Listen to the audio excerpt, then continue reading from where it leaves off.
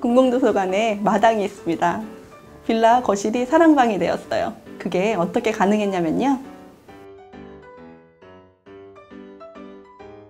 부산동 도서관 마을은 기존의 빌라와 오래된 건물 8채를 리모델링하여 만든 곳이잖아요. 그러다 보니까 빌라의 방을 그대로 살려가지고 어, 열람실을 만들었어요. 그래서 이 건물 안에 55개의 방이 있어요.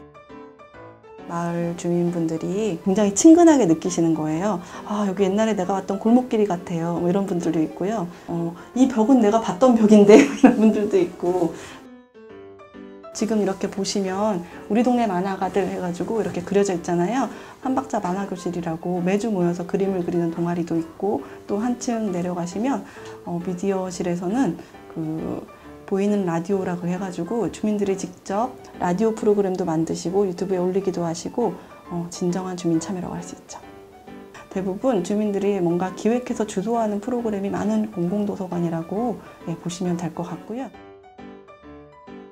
보통 도서관은 그 일반적으로 책의 하중을 견디기 위해서 그 무게를 한 두 배 정도 견딜 수 있도록 튼튼하게 싣거든요. 근데 우리 도서관은 리모델링을 하다 보니까 기존 건물에 책을 많이 넣기가 어려웠어요. 새로 지은 그 건물과 건물을 이었던 그 복도에다가 그 책을 놓게 된 거예요. 저는 보통은 이렇게 문을 열고 들어가면 막 끝없는 서가가 있잖아요. 근데 우리 도서관은 약간 미로 같잖아요. 책 찾기가 힘들고 그래서 바쁘신 분들은 조금 이렇게 불편하시기도 하지만 어, 도서관 곳곳을 다니면서 이렇게 숨은 그림 찾기도 하고 미로 찾기도 하고 최고의 검색은 서가를 거니는 것이에요.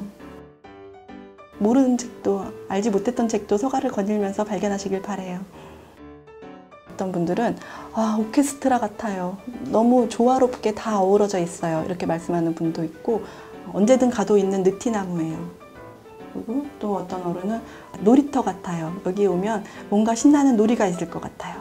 어, 마음속에서 우러나는 그런 말씀들을 해줘가지고 일하는 분들이 이렇게 감동을 했던 기억이 있습니다.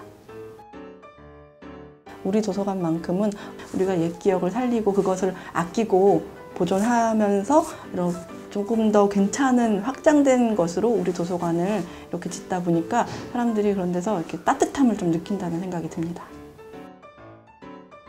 아버지들이 아이를 데리고 치킨집 안 가고 만화를 보러 도서관에 오시고 이런 일들이 굉장히 많았고 어, 언제든 갈 수 있고 언제든 내 마음을 받아주는 곳, 나를 받아주는 곳 이제 그런 곳이 되었으면 좋겠다 그런 생각을 하고 있습니다.